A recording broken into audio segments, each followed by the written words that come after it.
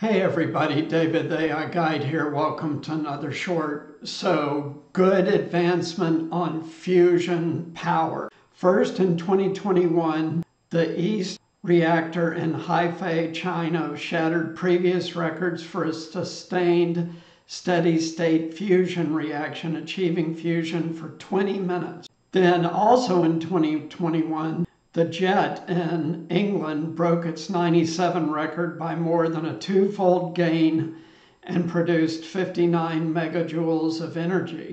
But the experiment that really marked a turning point was the incredible achievement of ignition at the National Ignition Facility at Lawrence Livermore National Lab in December of 2022. And now, crucially, they have replicated the experiment they were able to significantly increase the achieved energy output.